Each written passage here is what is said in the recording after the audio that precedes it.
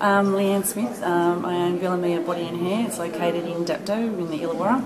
Um, we've been with the program for probably nearly three years, I suppose now, or probably over three years. Um, one of the great things that I probably would say was um, one of the days it was a bit quiet and we had some cancellations. So we did a letterbox drop. One of my staff and I went out there and I literally pulled back up in the car into the car park and she said, Am I one of the first 19 people to get in here? I went, Yes, like I'd only just literally driven into the salon. So, um, you know, to get that response to, to pick up clients like that, and it was a brand new client, and yeah, it's awesome. So, And it's continued. definitely all that has definitely helped my business. Definitely. And how much easier has it made it for you to Oh, have those tools? If you can just go on and get your, well, from your CD or go on the website and just change it and put your, your own business name and that in there and just the phone numbers, it's so much, so easy.